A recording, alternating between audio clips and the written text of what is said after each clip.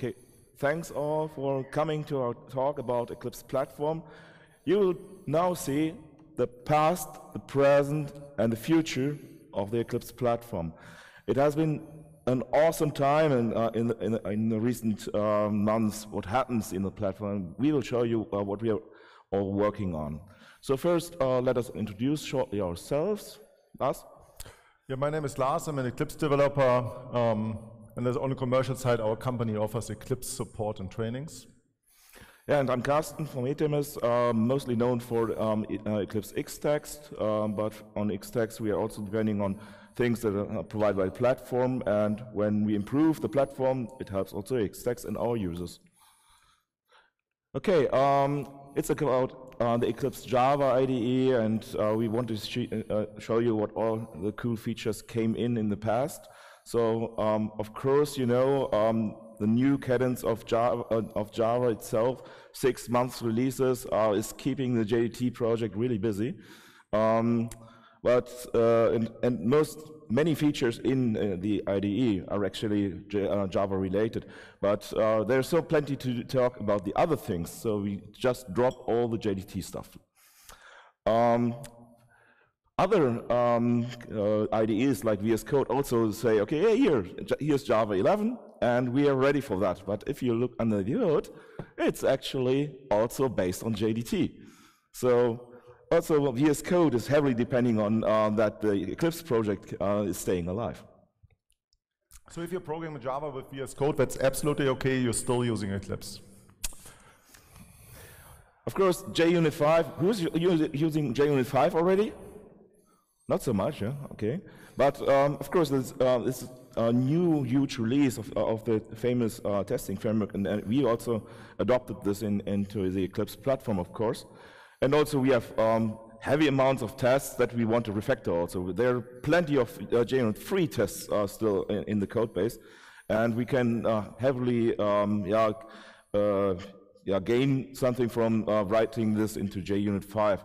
Uh, there's parallelizing of tests, um, there's stream using, and so there's plenty of good things coming up. You can tag um, tests, so you can say, here I have slow tests, they are fast tests. I want only to execute the fast tests, or I only want to execute plug-in tests, and you just say, okay, I'm starting um, tests with that tag. There's really cool features in JUnit 5, but also here we cannot go into deep. Uh, who of you is um, developing Eclipse plugins? So you are already... Um, Just for uh, everyone, approximately 80% of the room, I think. Yeah, okay. Um, so you all know the pain with defining our target platforms with the target definition editor. And the typical thing that I did in the past is um, I opened the target definition, definition, definition, file just with the text editor. But now we added um, a new folder here, a source folder.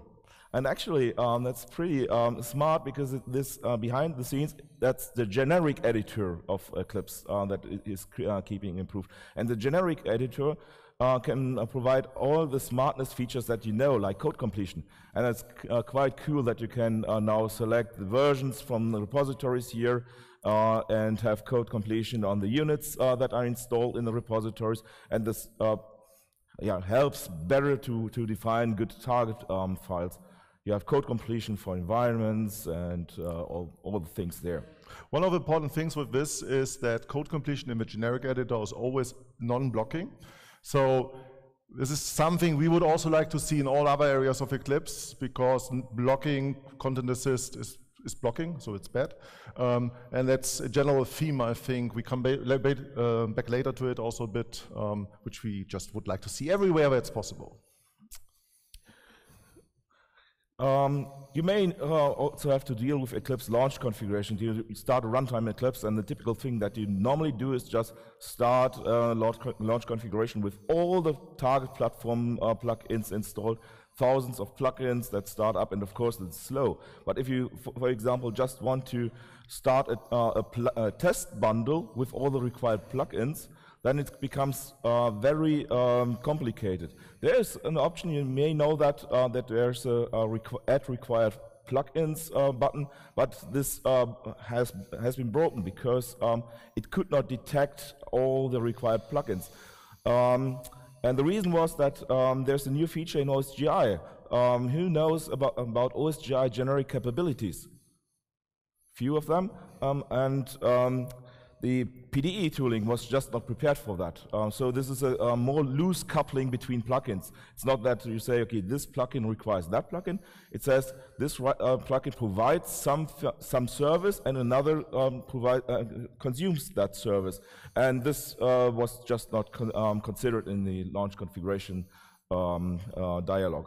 And this has been fixed, so now you can create very smart uh, um, or minimal um, setups. Um, we also placed some focus in the last releases on user interface experience. Um,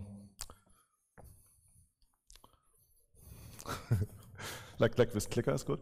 Um, for example, and that's what pet Pete, uh, a pet thing of mine, is that we try to give more reasonable labels to, to the buttons. If you remember, the, you close an editor, it was dirty you got this dialog, yes, no, cancel. It gets now more reasonable labels which help you easier to decide and faster to decide what to do. And while it's a small change, actually several of, several of our customers actually explicitly noticed that and said, oh, it's a cool change. Um, we also um, use a different font on Mac, and I think the important bit is that the bold font is now here supported, so it looks better on Mac. Small thing, but of course, all Mac users cheer for that. Um, we also use modern widgets in SWT, for example. We use now the native widget uh, dialog of the new directory picker uh, chooser. Um, for Windows user, hopefully a good achievement. We're also constantly trying to improve quick access. Um, unfortunately, we notice that our user base from Eclipse is not really aware of what quick access is. Who, who knows quick access? Oh. Very good, very, very, very skilled good. audience which joins the platform talk. Um, you can now, for example, also go to um, the preferences. You can actually query the Eclipse help system via this. Um, hopefully, this will make it even more usable because we think it's one of the killer features um, in, in, Eclipse. Um, we also improving our, uh, our dialogues. Um, if you remember open resource dialog, um, used to not show the path, and it was not using a styled label provider. So you could just type something and, and you weren't sure from which path it is. We have changed that. Um, we also changed that in the open type dialog so that you always see the package name. It used to be that it was only showing the package name if there were conflicting packages, and at least for me, this was sometimes not optimal because I was looking actually for the package name of something, um, and now it's consistent usage uh, in both dialogues. Um, as we had started off with a Star uh, Wars, is it Star Wars? Star Wars, yeah. uh, Star Wars theme, of course, um, we have to talk about the dark side of things. And um, I like to say that all the cool kids use dark themes. Um, I'm one of them, no? one of the cool kids. And, uh, but if you used the dark theme in an earlier release, you were cool, but you had a very ugly user experience, in Eclipse at least. Um, so we're constantly improving that. There are a lot of people working on this area, and it depends a little bit on the platform. But if you look at the recent release and the dark theme, um, it has improved quite a bit. This is kind of a user experience on Linux, which is, uh, in my opinion, the best experience for the dark theme. Um, but also Windows and Mac has been improved by several people, and um, you can now use it if, if you like dark themes. Oh. And if not, you're still cool, no? so don't, don't worry. Um, code minings is also something um, relatively recently added to the platform, and I think it will be the biggest feature in the next releases as we start now using it in our code base. Um, if you have not heard what code mining it is, basically the ability to asynchronously add additional information to your text editor. Um, you may know it from Visual Code that it, they add, for example, the references to the code. So you have a method um, or function, and then you see it's referenced five times in your source code. Yeah, if, uh, think about you call a Java method uh, which has five Boolean parameters, and you call it with true, true, false, false, false, and uh, you don't know what what you actually want to do there. And if you just place the name of the parameters that you um, uh, that you're calling there, then it be becomes far more readable. Yeah. And so we can, for example, show the type of um, a, um, a, parameter or the name. You can also add some arbitrary information like who modified the uh, method at last, so you can go to your colleague and ask him. Um, but also you can add some emojis or other graphics to it. Um, and that's a nice feature. Um, there is also a plugin out there which we hope to see in the platform soon is where you see the debug information of a variable directly inlined in the um, text editor, a feature which is available, for example, in IntelliJ, and once you get used to it, you unwilling to miss it again. So at the moment, it's available for Eclipse, you have to install it, but we hope to migrate it to platforms soon, or to JDT debug, and make it available for the larger audience um, without hassle of installation. Uh, one of my favorite uh, features is Minimap. Um, that is a Minimap here. It's basically a small representation of your code. Um, it's used in Visual Code or any other cool editor feature thing like Sublime. And it's also now available in Eclipse. We decided to put it as a view here so that you can choose to enable it or not. Um, I use it all the time instead of out, outline uh, view, so hopefully you also enjoy that. But user interface experience is not only like things in the user interface, in my opinion. There's another thing which is important for a good user experience, and that is speed. I I don't like to wait. I want to be productive, and um, so it's very important that um, the uh, re uh, responsiveness of the IDE gets improved. And we did many many things um, there. Um, we improved the event dispatching in SWT. We um, looked at blocking uh, things um, and uh, try to resolve them. And also the first experience that a user gets is very important. For example, that if you download um, Eclipse, uh, let's see, uh, that's on Linux, the pack, we downloaded the package, and we want to start Eclipse. So that's the first time we started. Um, of course, now that select uh, workspace uh, is selected, then we have to wait a bit. Oh, no, we don't have to wait, it's already there. Um, so that's the uh, startup speed of uh, the Eclipse Java IDE in, uh, on the first uh, impression. And when you start it next time, it's even faster. So um, I think we wanted to um, uh, benchmark this now with um, uh, with IntelliJ. I think well, we are far better there. I think I think Mickael from Red Hat um, said yesterday that he once started Gmail in his browser and Eclipse at the same time, and Eclipse was ready before the web page. So that was nice. We should actually put this in an animated GIF and show that. I today saw an IntelliJ user starting IntelliJ, and I was surprised how much other things you can do while your IDE is starting. Uh, so um, I think it's actually it's important for the user experience to start fast. Let's have a look at other things. Um, now we do some comparison between Oxygen and um, and Photon, and this is here. Um, we have a search dialog with um, plenty of uh, matches, 5,000 matches. Um, let's expand them on Oxygen. We see, oh, blinking cursor, ugly cursor, and it takes a while, and uh, uh, not a good experience. So um, with Photon, um, we improved that, and if you see that, okay, we have now a better cursor, uh, a system cursor, and it's far um, faster. Reason is here um, that we identified uh, that for each um, single uh, sub node, um, yeah, there's a synchronous refresh on the tree, and uh, we just disabled um, the refreshing while the tree is uh, computing and expanding, and this improves the speed here. Another place where you will recognize. Just sorry to, to, sorry? to add this, um, and that is a photon performance. The December release will be even faster because there's several more patches in the tree thing, which makes it even faster. So let's see another um, uh, thing where, where we can identify um, visible uh, visible improvement. We import projects from a Git repository. Um, so we select um, import projects, and you see the below the links and every every file is uh, presented. Actually, um, each file is there uh, presented synchronously. Um, and in the Photon release, uh, we introduced something which is called um, the, uh, uh the throttler. um, which allows us to um, yeah, only show uh, information to the UI at um, a specific rate. And I think 100 milliseconds per update is fa fair enough for the human eye. Um, so it uh, goes down to, on, down to almost nothing there. Speaking of performance, it's not only speaking about um, um, uh, speed, it's, all, it's also about um, memory footprint. And if you take um, a bare Java IDE, um, okay, it's uh, freshly started, fresh workspace, um, not a real use case, but if you uh, look in the minimum, it takes 40 megabytes heap. It's almost nothing, yeah, huh? It's, it's almost like nothing. Um, now just imagine how many memory your Slack client needs. um, okay, that's on a real use case. Um, my real use case, my, my smoke uh, test is always my platform workspace.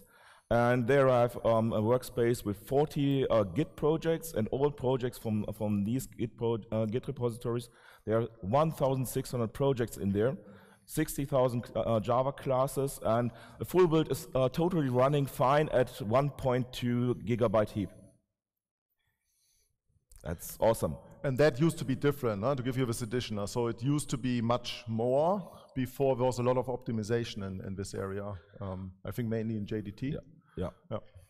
And if you like to know more about these uh, improvements that we actually did, um, tomorrow here um, in the morning, I will give, uh, give you an insight uh, on what we actually did in the platform um, to speed up um, the platform and uh, the memory footprint reducing. So this is done already. We, we talked a little bit about future. There's also some work behind the scenes which, which happens. Um, one of the things um, I think the team is particularly proud of is that we managed to increase the uh, community participation quite a bit. So if you look at this, this is a top level Eclipse project, including JDT, um, PDE, platform, and E4. So you see that there's a lot of companies working like Red Hat, uh, Microsoft actually working on the language server implementation. It's our company, but also IBM, of course, uh, very strong here. Um, but the thing I like about this graph is the unaffiliated committer and the contributor thing, which is 80%, and I don't know which this is, but it's has a nice color and is still big. So um, I think together we're almost the largest block of that. And you see also here on this individual chart that we have lots of small patches from individual people, individual companies, and so on. And that I think is a good sign for an open source project health. It's not only five people developing the framework and everything else is ignored or nobody contributes to it because it's too difficult. There was a lot of work doing, making it easier to contribute, um, a lot of people trying to react timely on patches, and that has shown that it actually grows the community. Um, we also do a lot of cleanup in the code, uh, so people which want to contribute find a better place to put their code in. So I think um, it's really a good sign. And you have a list of the companies here, um, also um, a lot of important companies working on this. As a direct reaction of a Java, new Java release cycle of six months, the general release train of Eclipse decided to go to three months release cycle. Um, I love it. Um, of course, it creates issues for um, certain workloads and also so for certain projects, but it really gives us an opportunity as a platform um, to deliver our value to, our, to you as a customer or contributor faster. And I have several customers in the RCP area, area which I'm really happy about this because they don't have to wait for their fixes for maybe nine months, 12 months, but at a maximum of three months if there's a fix. And some told me that it's really motivating for them actually to fix them themselves because they can actually use it. Wait, um, on the downside, um, this also has uh, challenges to uh, other projects that uh, want to participate into the new um, release cadence. Uh, speaking of Xtext, it, it is horrible for us uh, to uh, step on this new uh, um, three-month release train, and we have to do this because we have to use the latest uh, uh, Eclipse Tycho, latest Java release, and some and test to be compatible with that. Um, but we managed to do this also now. And we may even change this. Um, I'm not sure, Mockito, you probably know, it's a mocking framework, very popular. And they actually have this continuous release thing. So every commit in Mockito is a release. So we basically automated the whole process. I don't think we will ever be there. Um, but it would be, it's nice, I think. It's, it's, of course, it creates a lot of work also on our team. Huh? It's, not, it's not all sunshine and glory and singing in the garden. Um, but um, for the users, it's really nice. We also do some cleanup. Um, there are things that nobody uses anymore. Who is using Windows Vista? I still use it in my fridge. No, no. Okay, so uh, we decided to uh, we can drop this now from SWT, and also GTK2 was a major uh, cause of pain on the Linux side. It has so many errors and uh, so many bugs um, just related to that release, and so we said, okay, drop that. We fo totally focus on uh, on GTK3 now. Eric Williams uh, from, from Red Hat is doing a great job here, is, uh, reducing all the um, uh, bugs um, in, in the Linux uh, integration. And uh, yeah, of course, he can only focus on one implementation. And Eric, feel free to skip in, but I think this removal of GTK3 killed 20,000 lines of code. All right, 20, 30,000 lines less code, which the system potentially has to run through. Uh, there was some uh, two actually two contributors which also did the same for SWT um, port on Windows. And if I remember correctly, we removed 15,000 lines of code where was an if check, if Windows uh, 95 and so on. And all this has been removed. It's also removing from runtime, so it should have be faster and easier to maintain. Uh, so um, really happy about this. Cleanup patches are my favorite patches. I always smile if I see deletion of code. And we are heavily working on the bugs that are report, uh, reported to Eclipse. Um, some of you may have been yesterday in my talk about the uh, automatic error reporting system. This is um, a view from, from the committer side here. And a good thing here is uh, we can focus on those things that are reported by many people and pick all the low-hanging fruits. Uh, do you think? Do you know what, what is the main cause of errors in Eclipse? Users. Yeah, uh, OSI layer 8 problems, yeah, no. Um, null pointers, of course, and SWT exceptions because you did not check for a disposed widget. And you can pick all of them. This is, that's, um, that are no-brainers. And, um, and by constantly working on that, uh, the overall experience uh, with Eclipse gets better and better and better. And um, yeah, that's also um, uh, one thing contributors could um, work easily on. It's a good starting point. What I, uh, what's not related to code, but I would like to emphasize is um, uh, the social activity has, has a new uh, initiative. Um, do you know the Eclipse Java IDE Twitter account? You should follow that. Um, and uh, is gaining 500 uh, followers per month. Uh, it's an awesome activity. So people are getting aware that there's something happening. Um, and also there are cool videos by Holger Voormann um, showing always uh, the new releases in a in very professional way um, on YouTube. So we have community-based marketing, which is really cool. Um, we also developing new things. Usability is a big thing. We, we would like to improve usability, and as soon as we notice certain things, we try to improve it. And for example, the editor dropdown um, or the show path um, shortcut listed the files, but I at least have always a lot of files uh, named similar if I do um, yeah. documentation. and so now you see the path, and you actually can decide uh, to use this. But that's just a small example of, of a lot of things. You want to take this? No.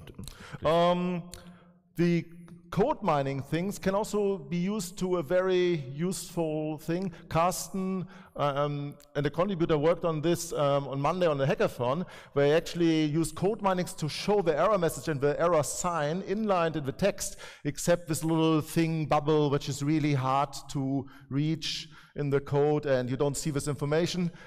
And honestly, now that I've seen this, I also cannot imagine a life without it uh, in Eclipse. So I'm really looking forward to this getting integrated or provided by an external plugin. Now it's, it's how many lines of code was it? Uh, I wasn't working on that, but um, I, I, sorry, I, I know Mika, code Mika, mining, sorry, so yeah. it will be uh, around 40. 40 lines of code. Um, another big thing, and there was a talk in the past about it, it was yesterday? Yesterday. Yesterday, um, parallel compilation of Java projects. Um, so if you have independent projects, they will not lock. Hopefully, if once this is finalized and finished, it's, it's yet in the development phase because of the future. Um, so you basically then will be able to save a file um, in another Java project while the other compilation is running. It will parallelize, um, if possible, the project parallelization, uh, the compilation, and um, giving enough power on your machine, this can significantly speed up the process of compilation. The other topic, um, which I also like and love, and also Mika um, is, from is working on, is non-blocking, code completion, or content assist, and also um, auto activation, so that basically you don't have to type um, a dot or press control space to see code completion. Once it's not in blocking anymore, we could actually think about it, enabling it always, because it doesn't harm if, if it's non-blocking. Um, so this should be also very nice. I do have a customer which has a lot of dependencies, jars, and code completion for him usually takes six seconds. So if he presses control space, six seconds later, the IDE reacts again, and he's really careful on using code completion, no? only in special situations. Um, another example, um, Fabian, which sits also there, um, works on is the workspace selection dialog.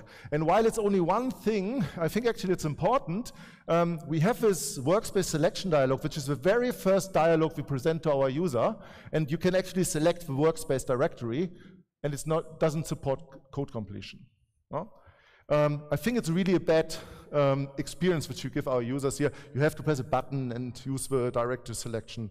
So hopefully this is finished soon and we can all enjoy code completion to select directories. Once we have this, we will plan to build it everywhere into the IDE where a directory is selected. Um, we also um, plan to embrace more the uh, Java language support. There were several talks about it, but basically the language server support um, provides you a, a way of um, using or supporting a new language in a text editor with maybe a few hours of development. Mm -hmm. We cannot deny that uh, Java and, uh, is not the only language that uh, people are working on uh, nowadays. Uh, JavaScript and TypeScript um, is important, and the best engine of supporting JavaScript and TypeScript is Visual Studio Code. Um, and um, yeah, there has been plugins uh, for JavaScript development in in, uh, um, in Eclipse first class support. They are not that good. Um, they are not updated uh, so frequently. But with the language server support, you can just take the engine from uh, VS Code and integrate this into Eclipse. And that's work in progress. Red Hat works on that, as far as I know. So soon you will have the best JavaScript, TypeScript, CSS, HTML support in Eclipse. Rust, because, yeah. because it's the same as in Visual Studio Code. Mm. And that's the best at the moment. Well. So you see, many things is happening. Uh, uh, we are not the dinosaur anymore. And if you don't notice, this is the reference to the upcoming X-Men movie, Dark Phoenix. Or, or is it called? Anyway. Okay. yeah, so um, the Eclipse project is still alive. The desktop is not dead. We, we, we have customers that, that won't change from uh, desktop to cloud-based IDEs for the next 15 years, I bet so. Um, of course, there there are um, use cases for that, and um, many of them are really interesting. Also for us as um, working on several projects, um, I don't want to set up all the workspaces for for all the projects that I work on. So um, there are use cases where uh, cloud-based IDs are really good, but the desktop for uh, great co uh, big companies is not that. And uh, any change, any improvement that we do to the platform comes for, uh, to value for millions of users. So it's very important to work on the platform um, more. And uh, I'd li like to invite you to, uh, to help us. If you uh, think, yeah, I want to help, come to us. We help you setting up the workspace, uh, guide you through the process, and um, yeah, in, we had uh, on Monday we had a hack hackathon, and there was uh, three guys from company from Bremen, and they said, okay, we, we are using, uh, building RCP applications um, uh, for, for years, and we now we want to give something back. Okay, so here, um, come to me. We set up the workspace, and we managed uh, to uh, to bring a patch within the ha- hackathon within two hours. Yeah, and in general, a setup of a workspace to contribute. We, we do this also hackathons in Hamburg. Also takes usually 10 minutes, 15 minutes, depending on your speed in which you're cloning. So it's really easy. You need a user, you need to clone the repository, and then you just you uh, can actually start up. It's it's it's really easy if you want to contribute. So, um, if you liked our talk, um, please drop us a note, uh, talk with us. Um, yeah, we like this plus one thing, um, but uh, maybe you uh, can also write uh, specifically what you like, what you did not like, what you uh, want to, to to hear, or maybe also in the future. Um, yeah. And we do have time for questions.